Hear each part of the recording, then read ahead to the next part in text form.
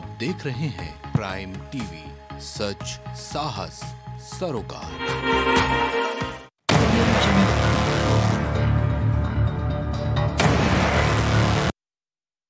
नमस्कार, मैं हूँ गौरव श्रीवास्तव और प्राइम डिबेट में आप सभी का बहुत बहुत स्वागत है। जिसमें तमाम तरह के मुद्दे ज्वलंत हैं, पर इन मुद्दों के बीच में कुछ मुद्दे ऐसे होते हैं, जिन पर चर्चा करना बहुत आवश्यक होता है, क्योंकि इन मुद्दों का सीधा जुड़ाव आम जनता से है। और साथ ही साथ ये मुद्दे मूलभूत सुविधाओं से जुड़े मुद्दे होते हैं। इसलिए इन पर अगर परिवर्तन भी होता है, अगर ये इनको अपडेट भी किया जाता है या इनको कुछ बेहतर किया जाता है तो निश्चित रूप से यहाँ पर जनता को लाभ पहुँचता है और यहाँ पर जनता की बात को लेकर यहाँ पर एक आम सहमति बननी बहुत ज़रूरी है। आज का जो मुद्दा है वो बहुत महत्वपूर्ण है क्योंकि लगातार इस मुद्दे पर अब सियासत होनी शुरू हो गई है। हालाँकि जिस वर्ग के लिए मुद्दा लाया गया है, वो वर्ग का फ़िलहाल कुछ समर्थन भी मिल रहा है, पर कुछ लोग इस पर राजनीति भी करना शुरू कर चुके हैं। और ख़ास तौर पे हैदराबाद के सांसद असुद्दीन ओवैसी वो तो राजनीति पीछे ही नहीं रहते, कोई मुद्दा रहेगा। अगर उत्तर प्रदेश से जुड़ा है तो सबसे पहले उसमें बयानबाजी का जो दौर जो शुरू होता है, वो असुद्दीन ओवैसी की तरफ़ से शुरू होता है। आज जो मुद्दा है, वो मदरसा के सर्वे का मुद्दा है। हालाँकि यहाँ पर जो हमारा एक सोच है, वो सोच ये है कि अगर किन्हीं स्कूलों की बेहतर के लिए प्रयास किया जा रहा है। अगर स्कूलों को अपग्रेड किया जा रहा है, अगर मदरसों का सर्वे कर उनको बेहतर करने का प्रयास किया जा रहा है तो फिर दर्द कैसा? एक जानकारी के मुताबिक अभी सर्वे होना है और सर्वे के लिए टीमें बनाई जा चुकी हैं और टीम बनने के बाद यहाँ पर जो रिपोर्ट है वो भी पच्चीस अक्टूबर सौंपनी है, पाँच अक्टूबर से इसकी कार्रवाई होगी और देखा जाएगा कि कहाँ पर कितने मदरसे हैं, उनको चला कौन रहा है, उनमें छात्र कितने हैं, शिक्षा कैसी मिल रही है इंफ्रा कैसा है, तमाम तरह की जो, एक जो एक गाइडलाइंस है, उनके तहत इन सारे मदरसों का सर्वे किया जाएगा। हालाँकि इस पर जमत उलमा हिंद की एक बैठक भी छः तारीख को ही थी, महबूब मदनी ने बैठक बैठाई थी और उन्होंने कहा था कि अगर इससे किसी का शोषण नहीं होता तो ठीक है, पर इस तरह से अगर केवल शोषण के कारण या शोषण के बिंदु के कारण या शोषण के एक एक पटकथा के कारण अगर ऐसा किया जा रहा है तो निश्चित रूप से हम इसका बिल्कुल खुल का विरोध करेंगे। अगर हम बात करें तो यहाँ पर उत्तर प्रदेश क्या पूरे देश में एक नई व्यवस्था और लागू होने जा रही है। पीएम श्री स्कूल, उसकी शुरुआत होने जा रही है और इसके तहत जो केंद्रीय विद्यालय उनके अलग, यहाँ पर पीएम श्री स्कूल खोले जा रहे हैं, प्रधानमंत्री श्री स्कूल। यानी अलग व्यवस्था और हर ब्लॉक में स्कूल होगा, अच्छी शिक्षा दीक्षा के साथ, और साथ ही साथ जो उसका स्तर होगा, वो अंतर्राष्ट्रीय स्तर का होगा। जैसे कि बड़े बड़े निजी स्कूल होते हैं, और वहाँ पर सारे लोग जुड़ते हैं, और बच्चे पढ़ते हैं। वही स्थिति यहाँ पर लाई जा रही है। और सबसे महत्वपूर्ण बात यह है कि अगर मैं मदरसों की चर्चा करूँ तो सोलह पंजीकृत मदरसे हैं, और लगभग लगभग जो अनुदान दिया जाता है, वो लगभग लगभग पाँच सौ साठ मदरसों को मिलता है। और पिछले छः साल से इन मदरसों को सूची में शामिल नहीं किया गया, जो अनुदान वाली सूची है। और साथ ही साथ जो मुसलमान विद्वान हैं, वो बोलते हैं कि इन मदरसों में कम बच्चे, जो गरीब मुसलमान के बच्चे पढ़ते हैं, बाकी जो उच्च शिक्षा वाले बच्चे हैं, जो सक्षम हैं वो अच्छे स्कूल में जाते हैं। फ़िलहाल मैं आपको बता दूँ कि यहाँ पर प्रधानमंत्री नरेंद्र मोदी राजपथ का नाम जो कर्तव्य पथ किया गया है और उसका उद्घाटन करने जा रहे हैं, सेंट्रल विस्टा का यहाँ पर उद्घाटन कर रहे हैं।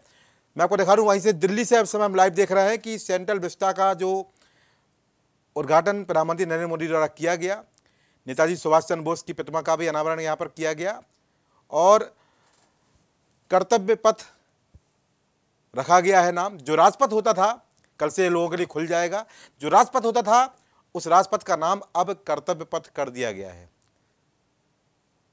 और और साथ ही साथ कर्तव्य का वो पथ जिसमें हज़ारों वीर जवान ने अपनी ज़िंदगी कुर्बान कर दी, भारत को आज़ाद कराने में और तमाम ऐसे युद्ध रहे, जिसमें आज भी लोग जानते हैं कि हमारे देश के वीर जवानों ने किस तरह प्रदर्शन किया और अपनी जान अपनी जान की आहुति देने से पीछे नहीं रहे। फ़िलहाल कर्तव्य पथ से हमने देखा किस तरह से राजपथ को कर्तव्य पथ कहा गया है, बना दिया गया है और ये लाइव हम प्रसारण देख रहे हैं। दिल्ली से जहाँ पर प्रधानमंत्री नरेंद्र मोदी द्वारा सेंट्रल विस्टा का उद्घाटन किया गया और जो पथ था, उस पथ का नाम राजपथ से कर्तव्य पथ कर दिया गया है। और कहा गया है कि कर्तव्य पथ से अब राष्ट्र की शपथ ली जा रही है कि राष्ट्र के लिए बेहतर काम हमको करना है। और चूँकि अब राष्ट्र को कर्तव्य के माध्यम से एक शपथ लेनी है कि हमको कर्तव्य निभाना है और एक शपथ के माध्यम से हमको आगे बढ़ना है, इसलिए राजपथ को यहाँ पर कर्तव्य पथ का नाम दिया गया। हालाँकि राजनीति इस पर भी होने शुरू हो गई है। फ़िलहाल वो चर्चा का विषय नहीं हो। हम देख रहे हैं यहाँ पर प्रधानमंत्री नरेंद्र मोदी, नेताजी सुभाष चंद्र बोस की प्रतिमा के अनावरण के बाद उन्होंने कर्तव्य पद का आज उद्घाटन किया है। सीधी तस्वीरें आप देख रहे हैं, ये दिल्ली से आ रही हैं। ठीक है तो फ़िलहाल हम अपने मुद्दे पर वापस आते हैं। उस मुद्दे पर बात करने के लिए हमारे साथ मेहमान जुड़ चुके हैं।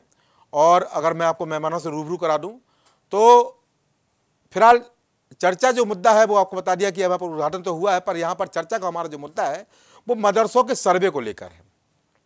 पीएम शुरू स्कूल की शुरुआत हो रही है, स्कूलों को बेहतर करने का प्रयास हो रहा है, मिड डे मील की बात भी होती है। बच्चों को यहाँ पर बस्ता, कॉपी किताब और यूनिफॉर्म की बात होती है, और मुद्दा बहुत अहम है उस पर चर्चा करने हमारे साथ मेहमान जुड़ चुके हैं। प्रवक्ता भाजपा ग्रुप में आशीष शाही हमारे साथ जुड़ चुके हैं।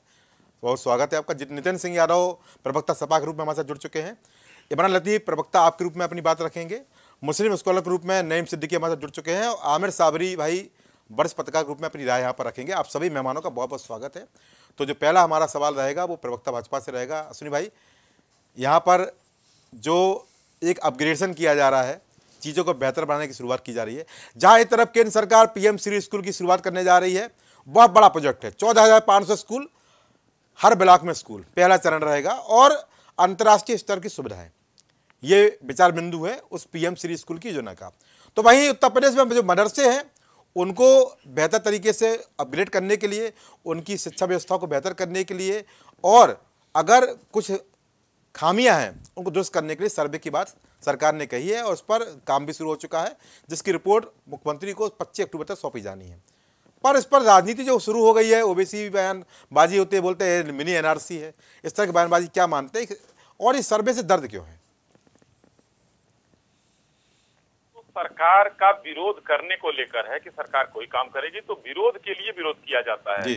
ओवैसी जी हमेशा चर्चा में बने रहना चाहते हैं। मुस्लिमों के नेता बने रहना चाहते हैं लेकिन मुस्लिम ही उनको नेता मानने के लिए तैयार नहीं होते हैं। समस्या वो नहीं है। सरकार अपना काम कर रही है विरोध करने वाले करते रहेंगे। सरकार अपने प्रदेशवासियों के लिए अपने देशवासियों के लिए हमेशा जो है एक बेहतरी का प्रोजेक्ट चलाती है। और उसका रिज़ल्ट अब देखने को मिल रहा है। इस समय देखिए पूरे देश में चाहे वो अर्थव्यवस्था के रूप में हो सामरिक हो विदेश नीति हो हर तरफ़ से देश मज़बूत हुआ है। और उत्तर प्रदेश उसमें एक सहभागी स्थान रखता, रखता है, है। आज अभी आपने बताया कि चौदह हज़ार से ऊपर जो है सरकारी मदरसे हैं जिसमें 560 को सरकारी अनुदान मिलता है। जी। इसमें खबरें ये आती हैं कि लगभग दस हज़ार करोड़ का इनको अनुदान मिला है बाहर से। जी। और खाने पे खर्च जो है जी। वो फिफ्टी परसेंट हो गया है। जी। अभी आपने भी बताया कि यहाँ के मदरसे में लोग ये कह रहे हैं कि अब जो अच्छे मौलाना लोग कह रहे हैं जो पढ़ने वाले जो अच्छे लोग हैं हम्म। मतलब जैसे जो संपन्न लोग हैं वो अपने बच्चों को बाहर पढ़ाते हैं। यहाँ गरीब बच्चे पढ़ते हैं।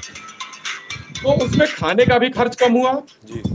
और पैसा दस हज़ार करोड़ कहाँ गया? जी। इसका पता लगाने के लिए ये सब चीज़ें की जा रही है कि आखिर क्यों ऐसे मदरसों में क्या हो रहा है। जी। अब दो चार चीज़ें बताएँगी जो टीम जो गठित हो रही दस सितंबर से ही गठित हो रही है। जी। ये टीमें जाएँगी कि कौन सी संस्था है जो मदरसा चला रही है। जी।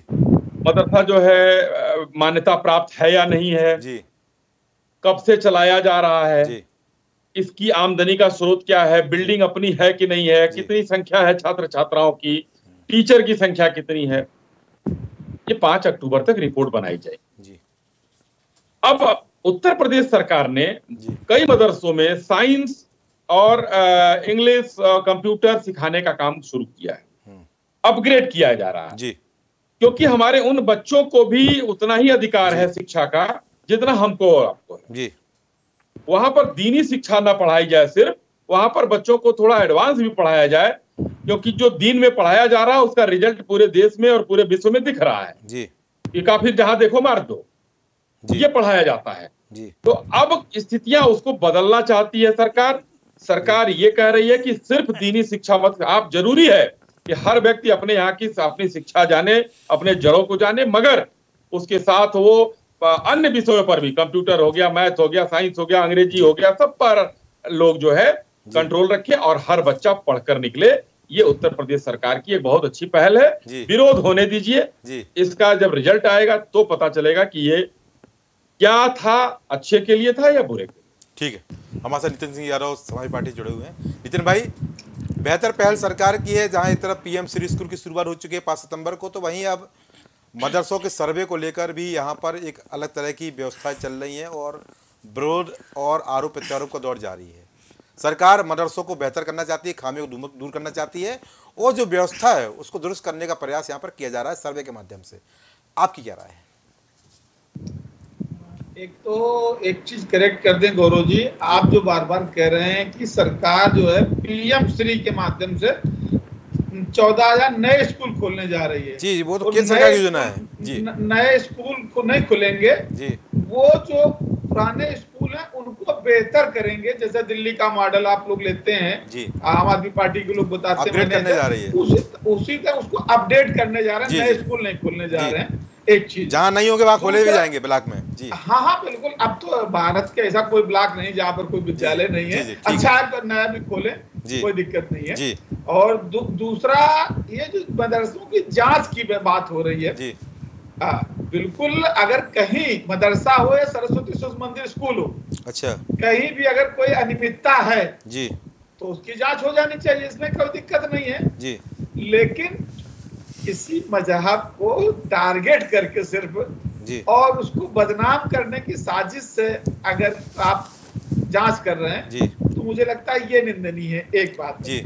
दूसरा जैसा कि अभी हमारे त्यागी जी कह रहे थे कि मदरसे में भी बाकी अन्य शिक्षाएँ पढ़ाई जानी चाहिए जिससे कि तो अभी मैं दस मिनट पहले ही आपके चैनल पे देख रहा था कि मदरसे के बच्चे ने टॉप किया है। जी। आज ही एक रिज़ल्ट आया है आप अभी बता देंगे कि मदरसे के बच्चे ने लखनऊ में अभी रिज़ल्ट आया है नीट का तो यहाँ पर कर दिया उसने। नितिन भाई यहाँ पर तो अच्छे अगर काम हो रहा है तो उसमें कोई दिक्कत नहीं है अगर मदरसे के बच्चे टॉप कर रहे हैं तो शिक्षा व्यवस्था को और मज़बूत किया जाए। बिल्कुल मैं, मैं उसके लिए बधाई देता हूँ। जी। मैं उसके लिए उस बच्चे को बधाई देता हूँ हम्म। इसका मतलब सिर्फ़ जो है माहौल वो एक माहौल बनाया जाता है कि परसेप्शन क्रिएट किया था कि मदरसे में उनकी दीनी पढ़ाई के अलावा जो आप दूसरी तरीके घटनाएँ मैं उसका ज़िक्र नहीं करना चाहता हूँ ऐसी घटनाएँ होती हैं उनको इस तरीके की ट्रेनिंग दी जाती है। तो वो एक बदनाम करने जैसी चीज़ अगर मुझे लगता है तो ये ठीक नहीं बदनाम हाँ, क्या बदनाम हो रही है? मैं समझ नहीं पा रहा हूँ। अभी त्यागी जी बताएँगे थोड़ी देर बाद हम हम इन शब्दों का इस्तेमाल नहीं आप बताइए क्या बनना भाई? मदरसे के बच्चे अगर टॉप कर रहे हैं नीट क्वालिफाई कर रहे हैं उन्हीं मदरसों को और बेहतर करने का प्रयास किया जा रहा है तो क्या बदनाम किया जा रहा है भाई? अच्छी बात है भाई। मैं अच्छा कह रहा हूँ कि अगर किसी अच्छी मंशा से कोई ऑपरेशन किया जा रहा है इसको तो पंद्रह मई तक हो जानी थी जाँच। अभी तक नहीं हुई है। ये शासन का जो आदेश अगर आप सहयोग कर रहे हैं तो डाउट किस बात का भाई? अभी अभी बता देंगे त्यागी जी अब हम लोग चूँकि उस तरीके की भाषा का इस्तेमाल नहीं करते हैं। जी जी। अभी तुरंत तुरंत जैसा कि आप भारतीय जनता पार्टी का मैं कह देता हूँ भारतीय जनता पार्टी का एक कहेगा सीधे सीधे स्लोगन है मदरसे में आतंकवादी बनाए जाते हैं। ये भारतीय जनता पार्टी के लोग भाई मोदी जी बोलते हैं एक हाथ पे कुरान दूसरे हाथ पे कंप्यूटर यहाँ पर आतंकवादी बनाने वाला बयान कौन दे दिया भाई? ये भारतीय जनता पार्टी के बयान है मैं इसलिए कह रहा हूँ ये मेरे बयान नहीं इसको कभी गलती से मैं रिपोर्ट कर दिया मैं कहना नहीं चाह रहा था ठीक है। त्यागी जी बोल देंगे थोड़ी देर बाद इस तरीके से। मैं ये कह रहा हूँ कि कोई भी मैंने कहा चाहे सरस्वती मंदिर हो चाहे मदरसे हो अगर कहीं अनियमितता है तो बहुत अच्छी बात है जाँच होनी चाहिए उसकी अच्छी मंशा से अगर आप कोई पहल कर रहे हैं कि आप उसको अपग्रेड कर दें उनके बच्चों को और अच्छी एजुकेशन दे दें इसमें कहीं कोई तो यही सहयोग यही सहयोग तो चाहिए भाई सब सारी पार्टियों से भाई। बिल्कुल पूरे समाज सभी लोग समाजवादी पार्टी का सहयोग है। जी। बसरते कि उसके खिलाफ लेता हूँ सही साहब बुरा नहीं होना चाहिए। बहुत ठीक है कर देनी चाहिए। बाकी अभी बताएँगे हमारे ठीक है ठीक है। हमारे साथ प्रवक्ता हमारी पार्टी में इमरान भाई बैठे हुए इमरान भाई सरकार की पहल है और नितिन भाई का भी कहना है कि हाँ ठीक है अगर बेहतर के लिए जा रहे हैं तो समाजवादी पार्टी समर्थन करती है। आम आदमी पार्टी भी कह रहा है? देखिए बहुत अच्छी बात है। जी। सबसे अच्छी बात तो ये है कि पीएम श्री के ज़रिए कम से कम आज लोग मान रहे हैं कि अरविंद केजरीवाल ने दिल्ली में जिस तरीके से शिक्षा व्यवस्था में आमूलचूल परिवर्तन लाने का काम किया आज उससे सीखने का काम भारतीय जनता पार्टी भी कर रही है और नरेंद्र मोदी जी भी कर रहे हैं। अच्छा है अच्छी बात है। सीखना चाहिए जो अच्छे काम हुए सबको सीखना चाहिए। दूसरी बात जहाँ तक जो प्रकरण चल रहा है मदरसों का जी। किस मंशा के साथ किया जा रहा है यह अभी अश्विनी शाही जी ने अपने एक स्टेटमेंट के ज़रिए बता दिया। अच्छा। अगर वाकई मदरसों का को मॉडर्नाइज करना है मदरसों को ठीक करना है तो बिल्कुल इस ऐसे फैसले का स्वागत है। लेकिन अगर उसके पीछे गंदी ओझी सियासत है जिससे सड़ांत की बदबू आए हम्म। तो उसकी निश्चित रूप से आलोचना होनी चाहिए। अभी शाही साहब ने एक स्टेटमेंट दिया कि मदरसों में कैसी तालीम दी जाती है उससे अभी तक क्या होता था वो अच्छा कह कौन रहा है? जी। कह मतलब उस पार्टी का प्रवक्ता कह रहा है कि जिसके नेता मेघालय में वैशाले चला रहे हैं। कह कौन रहा है मदरसों को टारगेट कौन कर रहा है कि हम्म। जिसकी पार्टी की पार्षद बच्चा चोरी करते हुए पकड़ी जा रही है। कह कौन रहा है जिसकी पार्टी के नेता बच्चों का अपहरण करते हुए पकड़े जा रहे हैं। तो जो अपहरण में शामिल हैं जो वैश्यालय चलाने का काम करते हैं जो बच्चा चोरी करने का काम करते हैं जो भ्रष्टाचार करने का काम करते हैं हम्म। जो दंगा करने का काम करते हैं जो बलवा करने का काम करते हैं आज वो ये बता रहे हैं कि मदरसों में क्या होता है और क्या नहीं आपकी राय क्या है? मैं बता रहा हूँ मैं आ रहा हूँ। अब मैं बता रहा हूँ कि दूसरा अगर मदरसों को अच्छे करने की नीयत से ये कर रहे हैं तो बिल्कुल स्वागत है। लेकिन अब आप बताइए बासठ महीने हो गए हैं भारतीय जनता पार्टी की जो केंद्र में सरकार बैठी है बासठ महीने से उन्होंने मदरसा के उन शिक्षकों की तनख्वाह नहीं दी है जो आधुनिक शिक्षक हैं। आधुनिक शिक्षक में खाली मुसलमान नहीं है मैं आपको बता दूँ। उसमें साइंस पढ़ाने वाले और मैथ पढ़ाने वाले वो टीचर हैं जो। मेजोरिटी से भी आते हैं हिंदू भाई भी उसमें अध्यापक के रूप में कार्य कर रहे हैं लेकिन बासठ महीने से ज़्यादा का वक्त हो गया है। उनको केंद्रांश नहीं मिला है केंद्र सरकार की तरफ़ से जो सैलरी का पार्ट आता है। तो अच्छा। क्या नियत है इनकी? स्पष्ट पता चल रहा है। अगर मदरसों को मॉडर्नाइज करना इनकी नियत थी अगर मदरसों में पढ़ने वाले बच्चों को अच्छी शिक्षा देना इनकी नियत है उनका मुस्तकबिल रोशन करना इनकी नियत है तो कम से कम बासठ महीने तक ऐसा ना होता कि उसमें पढ़ाने वाले शिक्षकों को तनख्वाह न मिलती। अब दूसरी बात ये शिक्षा व्यवस्था को लेकर कितने गंभीर है? मदरसों के प्रति इनका प्रेम तो वैसा ही संदेह में आ जाता है क्योंकि ये अपने सरकारी स्कूल पहले ठीक कर ले जिसमें सारे बच्चे तो संदेह संदेह क्यों आ रहा है संदेह इस वजह से आ रहा है कि उत्तर प्रदेश में छब्बीस हज़ार से ज़्यादा सरकारी स्कूल बंद हो गए। आज उत्तर प्रदेश के प्राइमरी स्कूलों की हालत यह है कि कहीं पर बिना शिक्षक के स्कूल चल रहा है वहाँ रसोईया स्कूल चला रहा है। कहीं पर माली स्कूल चला रहा है कहीं पर एक शिक्षक के भरोसे स्कूल चल रहा है कहीं के अध्यापक ही नहीं है कहीं पे प्रिंसिपल ही नहीं है तो कुल मिलाकर राम भरोसे। ये आंकड़े कहाँ से आए मेरा भाई? ये आंकड़े कहाँ पर है? अरे आंकड़े आप चलिए मेरे साथ हम लोग तो अभियान चला रहे हैं सेल्फी विद स्कूल। अच्छा। उत्तर प्रदेश के अंदर आप देखिए रोज एक नए नए मज़ेदार स्कूल निकल के आ रहे हैं। अच्छा। कहीं रसोइये जो है वो स्कूल चला रहे हैं। कहीं पर एक शिक्षक है बेचारा वो ऑफ़िस की फ़ाइल लिए घूमता रहता है कभी बीएसए के यहाँ कभी यहाँ कभी वहाँ तो पता चला कि वहाँ पर माली से ही स्कूल चलवाया जा रहा है। तो कम से कम पहले सरकारी स्कूलों को ठीक कर लें अच्छा। फिर मदरसों की बात करेंगे। ले दे के 500 मदरसे हैं हाँ। जिनको अनुदान ये देते हैं सरकार देती है ये तो उसको ठीक कर लेंगे बिल्कुल स्वागत है। लेकिन जो छब्बीस हज़ार सरकारी स्कूल आपने बंद कर दिए उसको ठीक कर लीजिए। जो। स्कूल रसोइयों और मालियों और एक शिक्षक के सहारे चल रहा है उसको ठीक कर लीजिए। वहाँ पर बिजली पहुँचा लीजिए वहाँ कंप्यूटर पहुँचा दीजिए वहाँ समय से अच्छा देखिए हम्म। छह महीना हो गया ये हम्म। किताब नहीं पहुँचा पाए सरकारी स्कूलों में।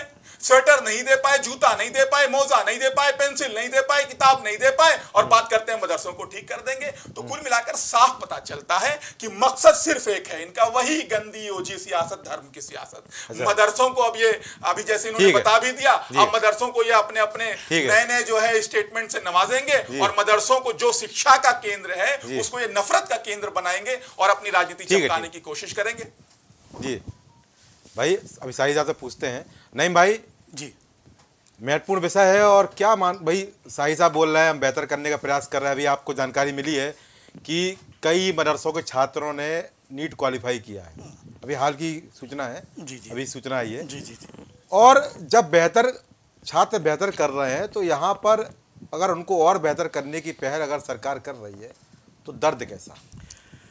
गौरव जी मैं आपके चैनल से माध्यम से कहना चाहता हूँ कि प्रवक्ता भाजपा साहब के बोल रहे थे तो मैं उनका वेलकम करता हूँ।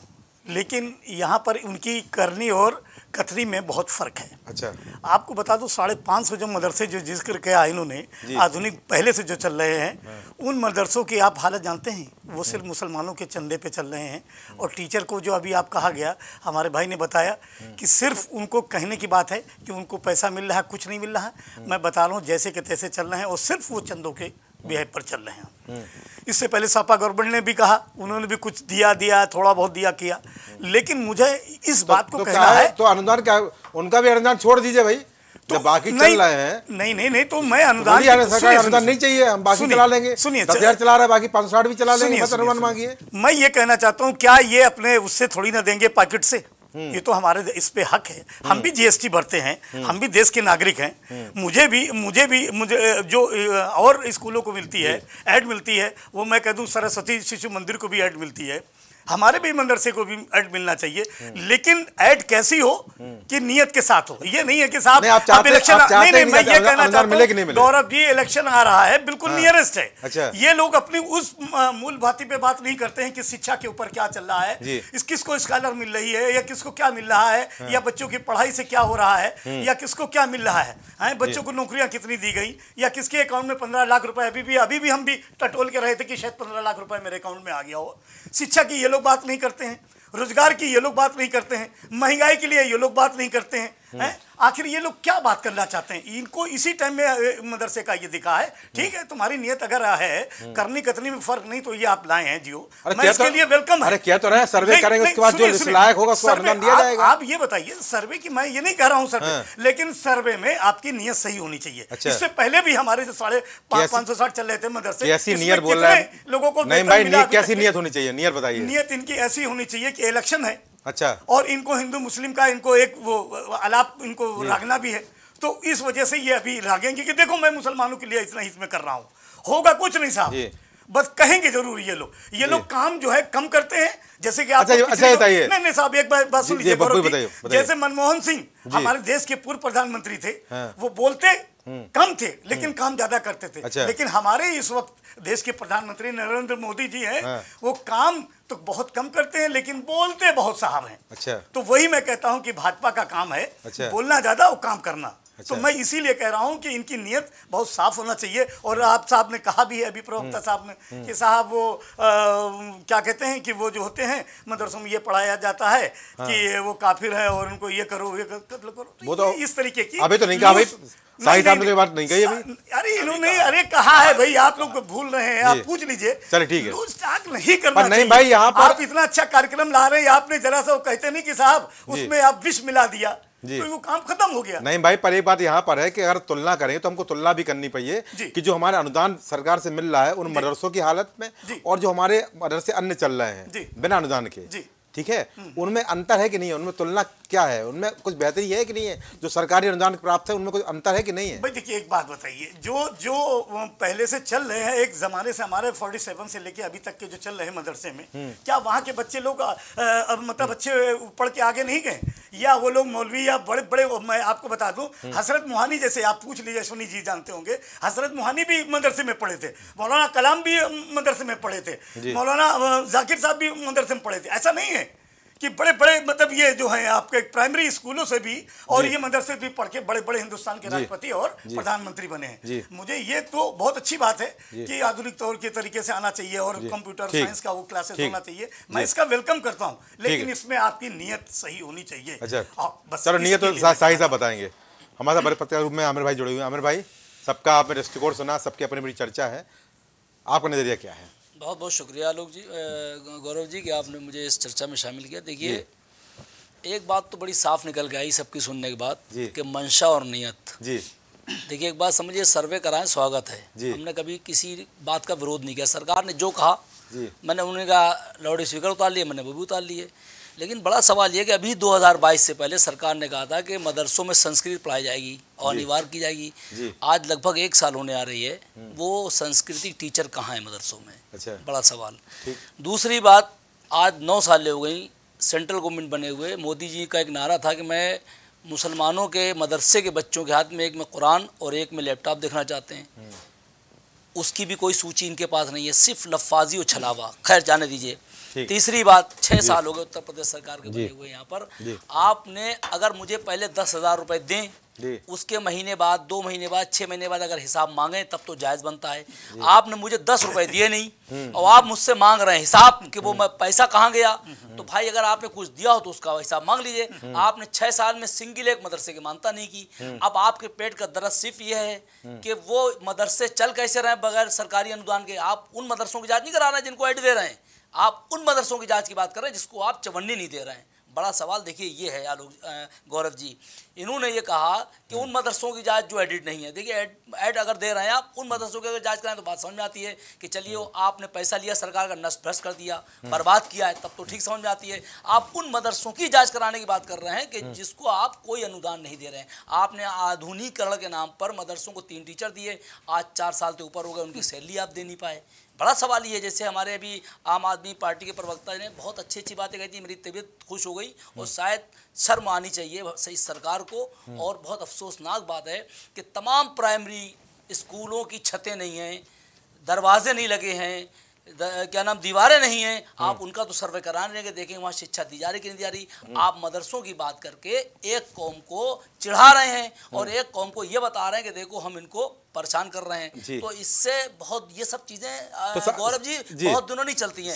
और एक बात मैं और इम्पोर्टेंट आपको बता दूँ कि 21 करोड़ रुपया सेंट्रल गवर्नमेंट ने दिया था अल्पसंख्यक एजुकेशन के लिए। जी। वो सारा रुपया वापस हो गया इससे ज़्यादा शर्मनाक और अफसोस पर यहाँ पर शाही साहब का कहना है जो दस हज़ार करोड़ का जो अनुदान मिला है कहाँ मिला? उस, उसकी जानकारी तो निकालनी पड़ेगी ना अनुदान? कहाँ से आ रहा है? यही तो मेरा सवाल है कि दस करोड़ रुपए जो अनुदान का आया था वो वापस हो गया है। अच्छा। जो शाहिद जी कह रहे थे मैं इन्हीं की बात पलट रहा हूँ और मेरे पास तमाम सबूत है इस बात के। अच्छा। जो पिछली प्रमुख सचिव थे अल्पसंख्यक के क्या नाम? हिमांशु जी। हम्म। पूरा नाम तो नहीं आ रहा हिमांशु ही नाम था शायद हिमांशु सिंह थे या हिमांशु कुमार थे हाँ। मैं नहीं जान पा रहा हूँ लेकिन नाम उनका हिमांशु था। हाँ। पूर्व प्रमुख सचिव अब तो कोई लेडी है। उन्होंने वापस कर दिया।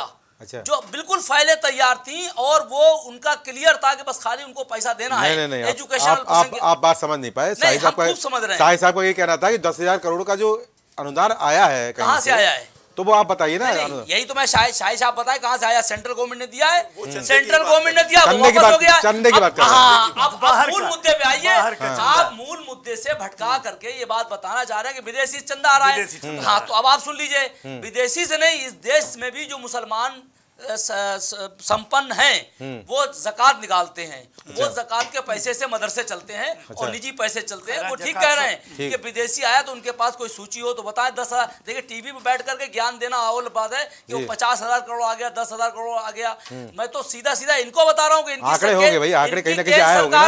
दस करोड़ इक्कीस करोड़ रुपया दिया था। वो अल्पसंख्यक एजुकेशन के लिए वो सब वापस कर दिया गया है। आप बताइए सिर्फ़ मदरसे के नाम पर आप सर्वे करा करके ऐलान करके सिर्फ़ चढ़ा रहे हैं। हम्म। आप ईमानदारी बात ये देना वेना कुछ नहीं जाते हैं। अगर देते तो हम्म। पहले 2022 से पहले इन्होंने ऐलान किया था संस्कृत पढ़ाई जाएगी। आप बता दें कोई सूची है आपके पास? कितने टीचर दिए आपने? चार साल से उनको तनख्वाह नहीं मिली साढ़े चार साल से। हम्म। तीन जो बिल्कुल इमरान भाई ने ठीक बात कही है कि उसमें सारे मुस्लिम नहीं है टीचर।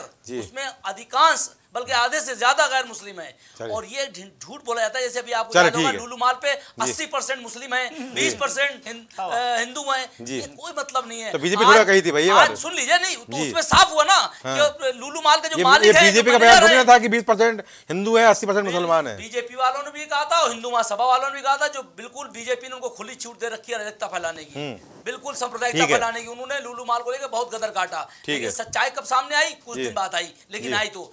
सत्य पराजित कभी नहीं होता है। चल मुद्दे भाई मुद्दे भाई मुद्दे भाई प्रवक्ता भाजपा शाही साहब बैठे हुए शाही साहब सबकी आपने बात सुनी। आमिर भाई भी बड़े नाराज़ है इमरान भाई बड़े नाराज़ है। क्या दर्द है भाई इनका? देखिए दर्द तो कहीं ना कहीं छलक रहा है और वो समाजवादी पार्टी से शुरू होकर अच्छा। आम आदमी पार्टी के पास तो एक वो टेप रिकॉर्डर है।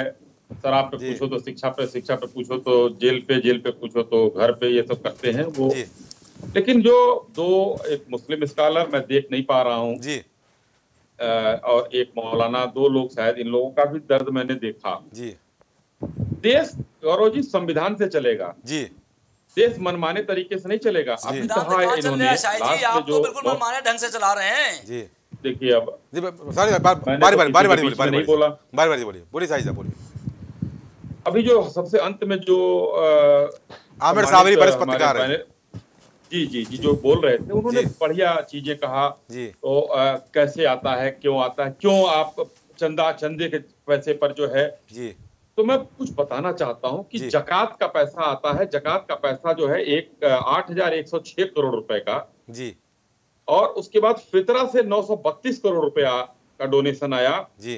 बारह सौ करोड़ रुपए चमड़े का जो कुर्बानी के बाद चमड़ा बेचकर जो डोनेशन आया वो आया दस हज़ार करोड़ टोटल ये आया है इनके यहाँ और उस दस हज़ार करोड़ में जी। हम हिसाब न ले सरकार हिसाब न ले कि वो पैसा कहाँ खर्च हो रहा है। जी। चंदे का पैसा चाहे वो किसी ट्रस्ट के पास जाता है या कहीं जाता है सबका हिसाब देना पड़ता है। सबका रजिस्ट्रेशन होता है सरकारों के पास। अरे राम मंदिर वाले कि चंदे का भी थोड़ा हिसाब कर लीजिए। आप कहीं खर्च कर दे और किसी को कोई आप हथियार खरीद ले किसी को जो है पानी पिलवा दे किसी को जो है आप जो है दरी खरीदवा दे कोई मतलब नहीं है सबका हिसाब होता है और सबका एक सम्मानित विभाग बना हुआ है। दूसरा अभी सब लोगों ने बड़ा आम आदमी पार्टी का सिफारिश किया। मैं आम आदमी पार्टी की बात करना चाहता हूँ। पंद्रह से इनकी सरकार आई है। जी। इमामों के मसीहा हैं ये लोग। जी। तुष्टिकरण के जो फर्मा बरदार हैं। हमारे सामने मैं सिर्फ़ अप- अपने जो है सपा के प्रवक्ता महोदय को देख पा रहा हूँ। तो मैं बता दूँ आप लोगों से भी बड़े हैं आप लोग पीछे छूट गए हैं। जी। पंद्रह से सरकार बनी है तीन करोड़ अठारह लाख इमामों को दिया गया है तनख्वाह के रूप में। सरकार ने दिया है, किसी जी। भी जी। सिख को सरकार ने दिया, दिया है झूठ मत बोलिए। सरकार ने दिया है। जी। शाही साहब सरकार ने दिया है इमामों को? जी बारी- बारी- अगर बीच में। चिल्लाएँगे तो पूरी बात पूरी पूरी बात लेने दीजिए करोड़ों अरबों खा रहे हो पूरी बात लेने दीजिए पूरी बात लेने दीजिए बोलिए मंदिर साहब नाम पे अरबों रुपए चंदा आया बोलिए। समझ आपने पंद्रह सोलह में तीन करोड़ अठारह लाख रुपए इमामों को दिया गया। उन्नीस बीस में नौ करोड़ चौबीस लाख हो गई तनख्वाह दी गई थी। और अब तक अट्ठाईस करोड़ छाछठ लाख केजरीवाल जी इमामों पर लुटा चुके हैं और आरटीआई का हिसाब मेरे पास है ये आरटीआई बोल रहा है मैं नहीं बोल रहा हूँ। हूँ। हूँ ये आरटीआई बोल रहा है। बोले इमामों की तनख्वाह दी गई है वहाँ। मंदिर के पुजारी भी हैं कहीं तनख्वाह नहीं दी गई। जी। वहाँ गुरुद्वारों में भी हैं उनको नहीं दी गई लेकिन इमामों पर 28 करोड़ लुटाया गया। वही चीज़ है तो इसीलिए ये दो लोग जो है बहुत तेज़ी से उनके वका, वकालत कर रहे हैं कि बहुत अच्छा आम आदमी पार्टी के प्रवक्ता बोल रहे थे। हाँ, आज असलियत ये है कि सरकार कहीं भी हो चाहे केंद्र सरकार हो या उत्तर प्रदेश की सरकार हो एक भी काम इन लोगों को दर्द हो रहा है ना कि हिंदू मुस्लिम हम कर रहे हैं कुछ नहीं। ये लोग कहते हैं और सिर्फ़ आरोप लगाना इनका काम है। आज उत्तर प्रदेश में कोई भी काम जो हुआ है कानून सम्मत अगर न हो तो ये लोग माननीय उच्च न्यायालय माननीय सर्वोच्च न्यायालय जा सकते हैं सरकार तो के खिलाफ। तो खुली छूट है। कहीं कोई मना नहीं कर रहा है। लेकिन जो काम हो रहा है वो काम जो है सारा कानून सम्मत हो रहा है चाहे वो बुलडोजर चलाने से लेकर हो। और ये दर्द क्यों हो गया भाई? होने दीजिए। सर्वे कराने में अगर एसडीएम बेसिक शिक्षा अधिकारी और जिला अल्पसंख्यक कल्याणाधिकारी जाकर तीनों की टीम वहाँ पर हर तहसीलों में अगर सर्वे कर रही है तो दर्द किस चीज़ का है? शाही जी मेरा सवाल है आपसे सर्वे कर किस आधार पे क्यों कराना चाहते हैं और काहे है, के लिए कराना चाहते हैं ये तो बता दीजिए। बारी बारी और जो चोर होता है वो हमेशा हमेशा नज़रें चुराता है और दूसरे पर आरोप लगाता साहब है। पर यहाँ पर एक सवाल ये भी है इमरान भाई बोल रहे थे कि शिक्षकों को वेतन नहीं मिला है। आमिर भाई बोल रहे थे छः साल से किसी भी मदरसे को अनुदान की इस लिस्ट में शामिल नहीं किया गया है। साबिर भाई बोल रहे थे संस्कृत शिक्षक रखने की बात कही गई थी वो भी नहीं किया गया है। इस पर क्या जवाब देंगे? ये देखिए बहुत पॉइंटेड सवाल है मैं बता रहा हूँ। हम्म, अनुदान नहीं दिया गया है अनुदान में शामिल नहीं किया गया है। सर्वे हो जाने दीजिए। जी हो सकता है कि कुछ मदरसे जो जकात के पैसे से चल रहे हैं बहुत शानदार चल रहे हैं जी। वो अनुदान में शामिल करने लायक होंगे अभी तक सरकार ने नहीं कराया था ये न पिछली सरकारों ने भी तो नहीं अच्छा कराया शाही था। जी मेरा एक सवाल है शाही जा। शाही जी अब बोल। अश्वनी जी एक बात बता दीजिए। अगर ये है। मदरसे जकात के पैसे चलने से आपको परेशानी बता दीजिए जरा सा जी तो जकात से क्या जकात से क्या आप हिसाब नहीं देंगे? जकात और से आप- आप मंदिर कौन होते हिसाब देने? वाले जो आप पहले ये बता दीजिए। हिंदुस्तान में दूसरे आपने अरबों रुपया मंदिर हैं, मंदिर के नाम चंदा इकट्ठा किया है। इसका भी तो हिसाब दे दीजिए। देना पड़ेगा। भाजपा से हिसाब मांगिए सरकार से देना पड़ेगा। जवाब देना पड़ेगा हिसाब देना पड़ेगा। उत्तर तो प्रदेश आप में आप बिल्कुल हैं, अपना हिंदुस्तान भी में तो है दीजिए। तो संविधान लागू है तो कानून लागू है। यही एक तरफा आपको मामला है। देना ये पड़ेगा विशेष समुदाय को कितना भी चिल्लाइए जवाब देना पड़ेगा। बड़ी जी। बात ये है। जी। आप है। एक समुदाय को चढ़ाते ठीक है, ठीक है, ठीक है, ठीक है, बारी बारी। बारी बारी। को नहीं कर रहे हैं। हम। सबका साथ सबका विकास का नारा बुलंद कर रहे हैं और करते रहेंगे। आप हिसाब नहीं देंगे। अरे उत्तर प्रदेश में जकात में आपका अब पता नहीं हो सकता आप कहीं एक विदेशी चंदा ले आ रहे रहे। हो टेरर फंडिंग हो रही हो। तो क्या करेंगे? आपको हिसाब देना पड़ेगा कहाँ से आ रहा है कहाँ जा रहा है। थे वो भी निकाल दिए गए। चलो, ठीक है। जो थे मंत्री देना पड़ेगा देना पड़ेगा। हिंदुस्तान में अब वो नहीं चलेगा। ठीक है। नितिन भाई कुछ कहना चाह रहे हैं? नितिन भाई अपनी बात पूरी करिए सबके नितिन भाई? लिए सब है। समय पार्टी से नीतिन भाई कुछ कहना चाहते नीतिन भाई बात पूरी करिए। मेरा शाही जी से सिर्फ़ एक प्रश्न है जी। कि उदाहरण हमेशा काम आता है जैसे यथा राजा तथा प्रजा। जी। जैसा हम और सरकार आचरण प्रस्तुत करेगी तब हम दूसरे पर पहले खुद पर अमल करें पर उपदेश कुशल बहुतेरे एक बात कहावत है कि पर उपदेश कुशल बहुतेरे मैं शाही जी पूछना चाहता हूँ कि पीएम केयर फंड तो आप पीएम केयर फंड का क्या एक कभी आप प्रस्तुत करेंगे? आरटीआई को लेके बैठे हैं। मैं पूछना चाहता हूँ उसमें कितना चंदा आया और किस मद में खर्चा किया गया है? फिर आप छोटी सी ट्रस्ट तमाम मदरसे और तमाम जकात का हिसाब पूछ लो बिल्कुल। हमें लगता है कि कोई देने से मना नहीं करेगा। क्या प्रधानमंत्री जी पीएम केयर फंड के नाम से जो एक प्राइवेट। जबकि प्रधानमंत्री राहत कोष ऑलरेडी एक सरकारी खजाना था हम्म। तो एक निजी एनजीओ बनाया गया हम्म। और उस निजी एनजीओ में हम्म। प्रधानमंत्री ने खुद चेयरमैन की हैसियत से लोगों से चंदा मांगा और उस चंदे का आज दुरुपयोग क्या हुआ? किससे पार्टी के कितने कार्यालय बने हैं? किस भगवान में कितना उपयोग किया गया है? आरटीसीएल में कितना पैसा खर्च किया गया है। क्या इसका जवाब क्या देंगे? नितिन भाई ये बताइए आपकी हाँ, सरकार थी तो आपने कितने मदरसों को जो है अनुदान सूची में शामिल किया था? आपने द्वारा पहल की गई थी क्या ऐसी? निश्चित रूप से। हाँ। अभी मैं उसके पूरे आंकड़े रखूँगा। जी। जो भी संभव मदद होती है जी। वो जी। जाती है और जाएगी उर्दू शिक्षकों की भर्ती कर भर्ती उर्दू शिक्षक नहीं मदरसे में कितने कितना अनुदान सूची में शामिल किया? सबको लेकर के आएँगे। और मैं अभी पहले मुझे इनसे ये सवाल पूछने दीजिए आज का विषय जो है कि हम्म। और राम मंदिर का आज का निर्माण हो रहा है। हम्म। जब ये कह रहे चंदे का हिसाब दिया जाए तो मैं चंदे के हिसाब की बात अरे राम मंदिर की बात नहीं हो रही भाई। निर्माण शुरू हो रहा है।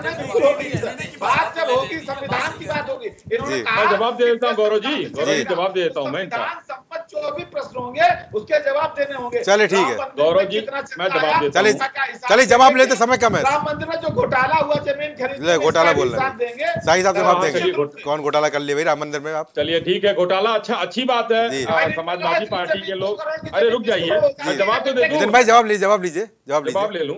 समय कम है जी बोलिए आपके आपके सदन में तीन सांसद बचे गए हैं पाँच थे अब तीन ही बच गए हैं। जी। यहाँ पर न जवाब मिलेगा और न सवाल हो पाएगा। हम लोग थोड़ी देर चिल्लाएँगे बहुत शांति से उसके बाद चले जाएँगे। कल हम लोग फिर एक साथ चाय पियेंगे। लेकिन जो। तीन सांसद हैं उनसे कहिए वो सदन में जाएँ वहाँ सवाल उठाएँ चाहे पीएम केयर फंड हो और चाहे मंदिर हो। एक।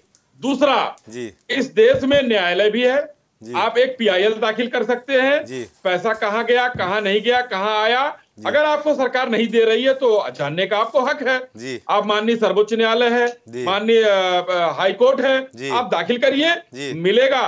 क्योंकि आपके जो राष्ट्रीय अध्यक्ष जी हैं उनकी निष्ठा पर आपको सवाल उठाना नहीं चाहिए कि वो सवाल नहीं कर रहे और आप यहाँ करके चले जाएँगे। अरे भाई उनको भी कहिए कि कुछ कहीं जाए पीआईएल दाखिल करे। सरकार ज़रूर देगी जवाब। और हर जगह जहाँ मांगा गया सरकार ने जवाब दिया है। और हिंदुस्तान में मैं पहले भी कह रहा हूँ सरकार हो विपक्ष हो मदरसा हो सरस्वती शिशु मंदिर हो सभी संविधान से चलेंगे। राम मंदिर के चंदे का आना पाए हिसाब मंदिर बन जाने दीजिए। सार्वजनिक रूप से हो कहा गया है कि सार्वजनिक रूप से सबको मिलेगा हिसाब। और आप लोग घोटाला घोटाला कहते हैं।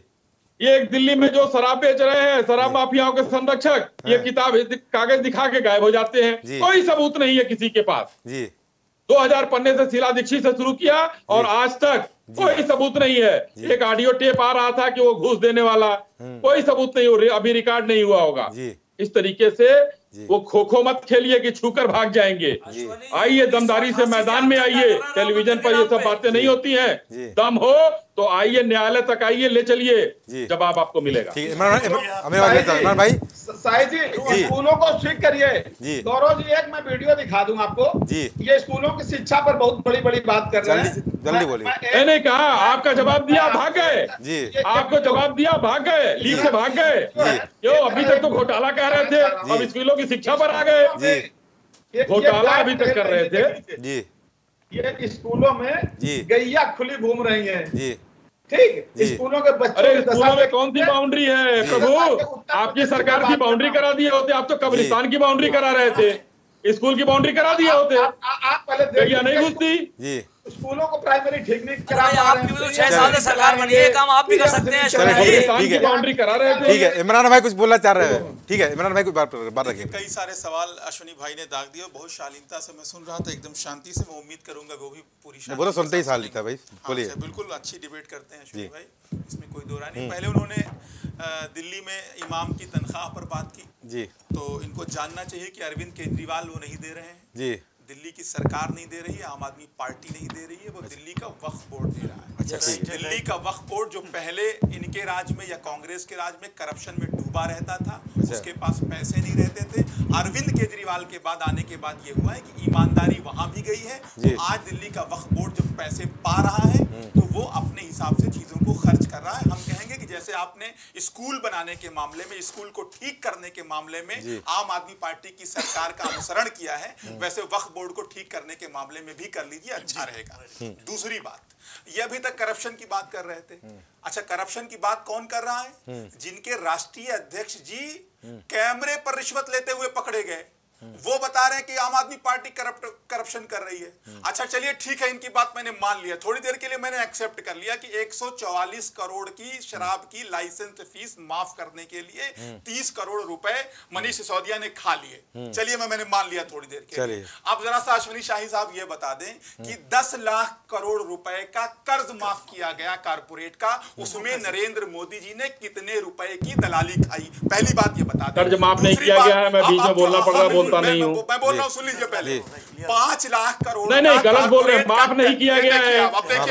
माफ़ नहीं किया गया है। गलत आप लोग बोल रहे हैं। सुन रहा था भाई सुन बोलना पड़ेगा। बोलना पड़ेगा बीच में। माफ़ नहीं किया गया है। राइट और माफ़ में फ़र्क होता है। मोदी मेल चौक चोरी पकड़ी गई तो बेचैन हो गए। पाँच लाख करोड़ का जो कारपोरेट का टैक्स माफ़ किया आपने उसमें कितने रुपए की दलाली खाई है बताइए। तीसरी बात जो कारपोरेट जो टैक्स था तीस प्रतिशत जेल में मंत्री से पूछिए जिसको बनाया था अपने जल मंत्री। में कितने रुपए की दलाली खाई मोदी जी ने ये बता दीजिए। तो कुल मिलाकर जो पार्टी बताइए जब बंगारू लक्ष्मण पकड़े गए थे एक लाख रुपया लेते हुए रक्षा सौदे में तब जब किसी को दो लाख पाँच लाख रुपए देना होता था तो दो लाख पाँच लाख नहीं कहता था। कहता था दो बंगारू ले आओ पाँच बंगारू ले आओ दस बंगारू ले आओ। और जिस पार्टी जो आज खोखा खोखा पार्टी हो गई है जो विधायकों की खरीद फरोख्त का काम कर रही है अभी नितेंद्र भाई हमारे पूछ रहे थे कि पीएम केयर फंड का गया कहा? अरे हम बता रहे वो क्या हिसाब देंगे भाई?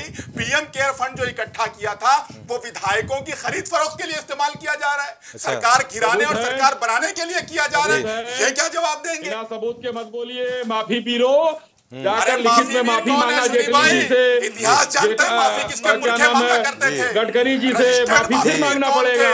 रजिस्टर्ड फिर मांगना पड़ेगा। राष्ट्रीय माफ़ी भी फिर माफ़ी फिर अरे भाई अरविंद केजरीवाल जी माफ़ी भी कारोबार करते थे।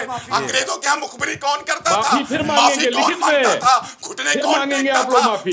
कौन चाटता था? आप हमको मत बताइए। माफ़ी बीरो की आप लोग जो है वो उन्हीं के अनुयायी हैं। आपके पूर्वज माफ़ी मांगने का काम करते थे राष्ट्रीय माफ़ी वीर केजरीवाल जी ने माफ़ी नहीं मांगा था क्या? अरे राष्ट्रीय माफ़ी वीर कौन है बता दीजिए हमको। केजरीवाल जी ने माफ़ी मांगा था या नहीं मांगा था? जेटली साहब से मजीठिया जी से काम कौन करता था? क्या क्या कहते हैं? गडकरी जी से अंग्रेज़ों से मांगा था या नहीं मांगा था भाई बता दीजिए ना। अपने अपने पूर्वजों की आप लोगों का काम है आरोप लगा के भाई जाना लिखित माफ़ी मांगना। जी। अरे जिनके पूर्वजों का कारोबार रहा हो माफ़ी मांगना वो आज हमको अरे भाई आज आज आपके पूर्वज जो है जो जो क्या कहते हैं ब्रह्मांड के नायक है आपके वो माफ़ी मांग रहे हो वही किया जा रहा है? पीएम है ठीक है एक एक काम हमारे करके कर रहे हो। गुजरात में आ रहा आपके। उसको भी देखिए और ध्यान दीजिए सबूतों के साथ आइए बाज़ार में खड़े होइए और झूठ फैलाना बंद कीजिए। कि दस लाख करोड़ माफ़ कर दिया गया। राइट ऑफ़ करके आठ लाख करोड़ उनकी संपत्तियों से वसूला गया है। ये माफ़ नहीं होता है। ये चीज़ें घुमाइए मत। आप तो आज दिल्ली में जो है बिजली दे रहे फ्री दस हज़ार करोड़ के अनुदान के लिए कटोरा लेकर क्यों केंद्र के पास है केंद्र सरकार देती है। हमने खरीदा। अरे झूठो बेईमानों की सरकार है दिल्ली। करोड़ का कर्ज माफ़ कराया किया कितने रुपए कोई माफ़ी नहीं हुई है। सारे लोग बैठे हैं। पढ़े लिखे आप लोग अगर इतने हैं तो झूठ को झूठ मत बोलिए। देश को सच जानने दीजिए। देश को सच पहुँचने दीजिए। ठीक है ना? अभी जवाब जब जवाब जवाब फिर आप लोग भाई जल्दी जल्दी बताइए बस भाई बोल रहा है माफ़ किया चैनल पे जाना था मुझे जी मैं सोनी जी से पूछना चाहता हूँ कि भाजपा के लोगों ने ये बताया कि हिंदुस्तान 2014 में आज़ाद हुआ है। अच्छा। मुझे तो इस बात को सबसे बड़ी बात होती है कि 2014 में मतलब भारत देश आज़ाद हुआ है। जब हमारे पीएम नरेंद्र मोदी आए हैं तब देश हमारा आज़ाद हुआ है। एक नहीं कितने इनके वक्ताओं ने कहा? दूसरी बात कम से कम तुष्टिकरण से तो आज़ादी हो गया कहा कि सापा के तीन रह गए हैं ये उन्नीस से लेके और बयासी तक के बयासी तक के कितने इनके सांसद थे? दो सिर्फ़ दो थे। मतलब धंधा भी पूरा नहीं हो पाता तो विपक्ष कमज़ोर हो गया तो वो बढ़ गए ना भाई। मत कहिए। विपक्ष कमज़ोर क्यों हो रहा भाई? में अंतर है। आप अभी भी सुधर जाइए। और अच्छे अगर आपका आधुनिक मदरसे बनाना चाहते हैं तो सही नियत आपको लाना पड़ेगा और सही कार्यक्रम को आपको फिर मैं कह रहा हूँ दर्शाना पड़ेगा। तो किसी भी आप उसको मत बताइए। आप स्वागत करते नहीं करते बताइए। जी। सर्वे का स्वागत कर रहे हैं नहीं कर रहे अरे भाई सर्वे को किस किस सर्वे को मैं कहूँ? अभी सही सही एक, एक सर्वे इनका वो तो बताइए। आप अभी अभी हैं जवाब देते पहले जो मदरसे हेड हैं आप उनको ही तो पहले तनख्वाह देते हैं। अच्छा। और आपने अभी कहा कि वो इतने करोड़ वहाँ से आए फलाने। मैं कहता हूँ कि हमारे जितने मदरसे आए उन्होंने कारपोरेट वालों ने दिया अपना खैरात दिया जक़ात दिया फितरा दिया और कुर्बानी की खाल का आया। आपके मंदिर में कहाँ कहाँ से आया है? क्या आप इसकी लिस्ट बताएँगे? आप अपना भी तो दीजिए बोरा। आप अपना ब्यौरा दो हम अपना दे। वो तो कह रहा है ब्यूरो हम देंगे मंदिर बनने के बाद पता वेबसाइट पे जाइए अभी भी पड़ा अभी अभी अभी तो कुछ दिन पहले अभी आपने देखा होगा कॉलोनी के लेके विधायक जी पूर्व विधायक मेयर सारे उसमें सब पकड़े गए हैं सभासद तक के पकड़े गए हैं जमीनों के लेके उसमें चल रही है। जी। तो ठीक है। पकड़ा गया? कौन पकड़ा गया है? अपना अयोध्या को देख लो पहले। कौन पकड़ा गया है? भाई बताइए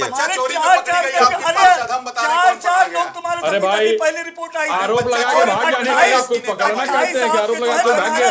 पकड़ी गई आपकी नेता। वैश्यालय चलाने कोई नहीं पकड़ा गया। है वो सब पता चल गया किसने किया था किसने नहीं किया था? सब सब सब सब बदनाम चलो ठीक है। ठीक है ठीक है समय कम है। समय कम है आमिर भाई की बात करना है। आमिर भाई की बात ले लीजिए भाई। ठीक है नहीं भाई ठीक है नहीं भाई। आमिर भाई अपनी बात कोई नहीं पकड़ा गया नहीं जी कोई नहीं पकड़ा गया। आप दुरुस्त कर लीजिए जानकारी है जी। मदरसे से एपीजे अब्दुल कलाम निकले। ये तो चलिए कल की बात है। इसी मदरसे से रघुपति सहाय फिराक गोरखपुरी जो विश्वविख्यात शायर थे वो निकले। इसी मदरसे से पंडित आनंद नारायण मुल्ला निकले। इसी मदरसे से मुंशी प्रेमचंद जी निकले। दरअसल बात मदरसे के सर्वे की नहीं बात मदरसे को संदिग्धता की निगाह से देखने की है। मैं इनको बता दूँ कि मदरसों में कहीं कोई जैसे अडवाणी जी ने एक बयान दे दिया था कि मदरसे आतंकवादी प्रशिक्षण केंद्र हैं। उसके बाद जब उनसे पार्लियामेंट के अंदर इस सवाल का जवाब मांगा गया तो उन्होंने माफ़ी मांगी और ये कहा कि नहीं ये न्यायपूर्वक नहीं है। मैं एक चीज़ और दिखा दूँ देखिए ये हमारे मदरसों में नहीं होता है कि जो आप सरस्वती शिशु मंदिरों में तलवारों की और इस क्या नाम भालों की और बंदूक की ट्रेनिंग दी जाती है। हमारे किसी भी मदरसे में आप चले आइए जब मर्ज़ी आप मेरा हाथ पकड़िए और ले चलिए इस मदरसे में तो मैं ज़िंदगी भर आपकी नहीं आपके बच्चों तक की गुलामी करूँगा अश्वनी जी। आप किसी मदरसे में सिवाय कुरान पढ़ने के अलावा पत्रकार को पीटा गया है मदरसे अरे छोड़िए आप जो हम कह रहे हैं सुनिए सरस्वती शिशु मंदिर जाके देख लीजिए कितनी नफरतें फैलाई जाती हैं पढ़ाई जाती हैं। संघी शाखाओं में जाके देख लीजिए और एक संघ का एक पत्रकार को उसके कैमरामैन को मारा गया है मदरसे में बंद करके। सौ कम से कम नाम गिना दूँगा मदरसे के निकले हुए को कि जिन्होंने इस देश के लिए अपनी छाती पे गोली खाई है पीठ में नहीं खाई ईश्वरी जी। और जहाँ तक माफ़ी की नाम है तो वीर साहब पिछले पंद्रह सालों में एक नाम गिना दीजिए आप पंद्रह बीस सालों का एक नाम गिना दीजिए ना। अटल बिहारी वाजपेयी पंद्रह बीस सालों में। अंग्रेज़ों से ये मैं नहीं कह रहा हूँ कोर्ट के अंदर कागज़ मौजूद है। नहीं नहीं ये सारे जितने ट्विन टावर पर जाके जहाज़ लेके जो है कौन कूदा? अफ़गानिस्तान से जो है मानव बम बन के कौन आया? कहीं भी फट रहे हैं तो कौन फट रहा है? हैदराबाद में आरएसएस ने बम फोड़ा। सुनिए हैदराबाद में आरएसएस ने बम फोड़ा। मालेगांव में आरएसएस ने बम फोड़ा। लखनऊ हाई कोर्ट में आरएसएस सुनिए हैदराबाद में आरएसएस ने बम फोड़ा। दिल्ली बोले बोले ने बम ठीक है ठीक है समय कम है। समय कम है समय कम है। मुझे सोनी जी से पूछना है पूछ पूछ लीजिए ट्विन टावर में जहाज़ लेके घुसने वाले क्या मदरसे के विद्यार्थी थे? क्या भारत के कितना गुमराह करोगे देश को भाई? कितने झूठे हो कितने पाखंडी लोग हो आप लोग? ये मदरसे पढ़ने वाले बच्चे थे क्या? जो टावर में जहाज़ लेकर थे? मैं पूरे विश्व की बात कर रहा हूँ जहाँ भी पाए जाते हैं बीस साल से बताए ना कोई। बीस साल से कोई एक आदमी का नाम बताए जिसको नोबेल पुरस्कार मिल गया हो। बीस साल पहले के एक आदमी का नाम बता दे। बीस साल से पहले वाला छोड़िए बीस साल के बाद। बारी बारी भाई बारी बारी से नाम बताए किसी एक व्यक्ति का नाम बारी बारी से बोलिए समय कम है। मैं अश्वनी जी एक मिनट का जवाब देना चाहता हूँ। जी। अश्वनी जी गौरव जी एक मिनट मुझे जवाब देना है? की शाखा का बिल्डोजर जवाब दे मनुवादी देश को होते हुए एक मिनट मौका ठीक है ठीक है। भाई एक मिनट। कौन था? गौरव, पाकिस्तानी मुझे एक जासूस मिनट कौन बोलना था? है। ध्रुव अरे यहाँ पर जासूस की बात नहीं चल रही भाई। जी। बीजेपी के यहाँ मदरसे की बात चल रही भाई कहाँ आप बात लेके जा रहे हैं था वो पाकिस्तानी जासूस चमन लाल। कौन था? चले ठीक है। बताइए ये कभी नहीं भाई कभी जिसे और मुद्दा ले लिया जाएगा। जासूस था ठीक है। ठीक है। पाकिस्तानी जासूस अरे ठीक है। नितिन भाई कुछ बोलना चाह रहा है। ठीक है नहीं भाई ठीक है नहीं भाई ठीक है। आतंकवादी आपकी बात फिर ले ली जाएगी नितिन भाई। चलिए चलिए वो तो ठीक तो है। देश में पता अरे नहीं भाई बात कुछ हो बात रहा ले है। जाएगी अभी कहीं पर नईमी होते हैं कहीं पर मुदस्तर होते हैं कहीं पर फराज होते हैं कहीं पर जो है अब्बास होते हैं। भाई अपनी बात पूरी करिए जगह चल रहा है देश में यही चल रहा है। नहीं भाई जब अपने पास नहीं भाई ठीक है। बगले झांकते हो। नहीं भाई नहीं भाई ठीक है। जी। जी अमरनाथ यात्रा अरे नहीं भाई रुकिए रुकिए। वाला कौन था? अरे नहीं भाई नितिन भाई की बात लेनी चाहिए। नितिन भाई बोलिए जल्दी बोलिए। हाँ मैं मैं सिर्फ़ सोनी जी से एक प्रश्न पूछना चाह रहा हूँ। इन्होंने दो बातें कही। एक तो इन्होंने कहा कि ट्विन टावर में जहाज़ लेकर घुसने वाले कौन थे? तो मैं पूछना चाहता हूँ क्या भारत के मदरसे के बच्चे थे क्या? एक प्रश्न। दूसरा जो उन्होंने कहा अभी पंद्रह बीस सालों में कोई नाम बताइए एपीजे कलाम का नाम मत बताइए और सर सैयद का नाम मत बताइए मौलाना असरत वानी का नाम मत बताइए। अरे आज ही का ले लीजिए ना नीट की परीक्षा में टॉप करने वाला विद्यार्थी भी आज जो है वो भी मदरसे का विद्यार्थी भैया किस तरीके की आप बातें करते हो?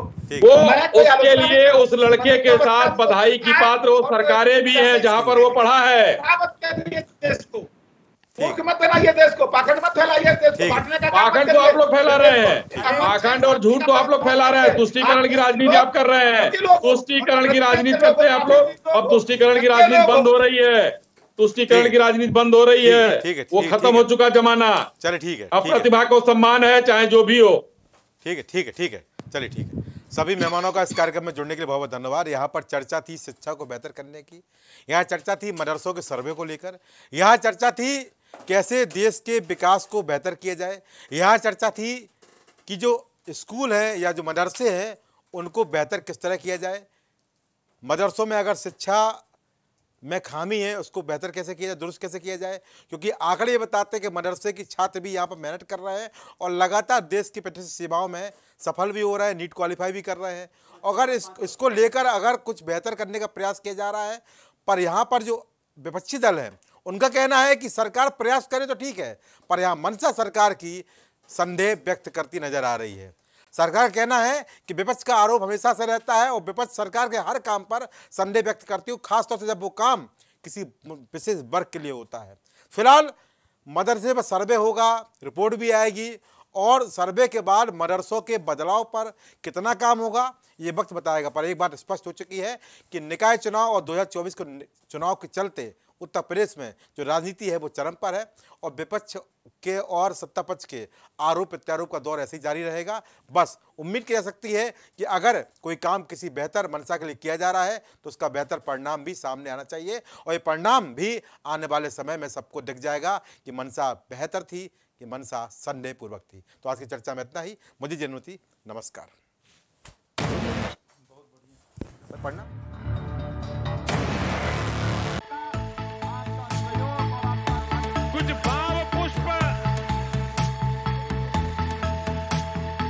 आप देख रहे हैं प्राइम टीवी सच साहस सरोकार।